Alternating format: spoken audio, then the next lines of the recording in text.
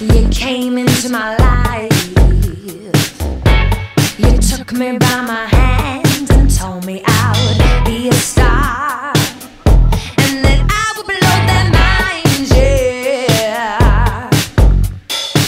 My biggest influences that might help are, I suppose, a combination between Jimi Hendrix to to MJ. Um, I like a lot of old school soul, and also, I suppose, and a bit of hip hop with the under kind of heavy beats going on, and it's a lot of big guitar, and it's it's it is fusion.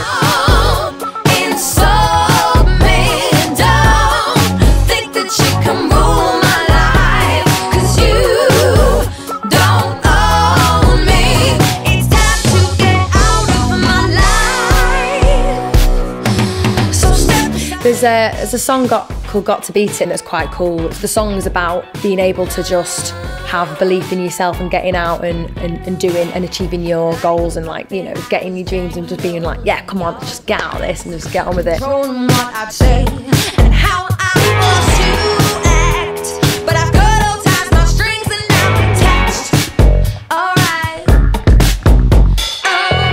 Well, my stage outfit tonight is pretty much ripped off Diana Ross.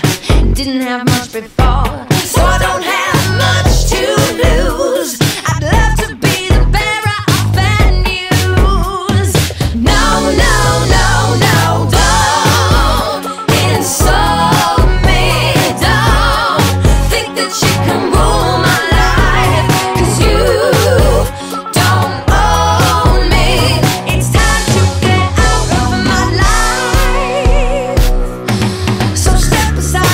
Who influenced you when you were little and who influences you now?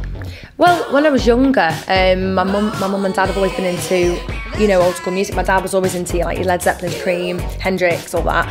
That kind of infiltrated its way into my brain somehow. And then my mum's a massive fan of Motown Soul, Northern Soul. So it, it's I've always been around it, man. I've always been around music, to be honest.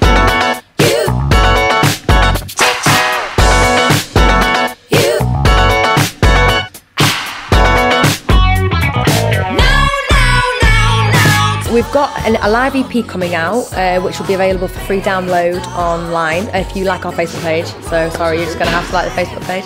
Um, it's live. JJ Rosa live at the Deaf Institute, and that Deaf Institute is a venue that we played in Manchester a few weeks ago. So it's four tracks that we played live. They've filmed them, so you get to see the footage as well. And then yeah, you can download four tracks for free, which is cool.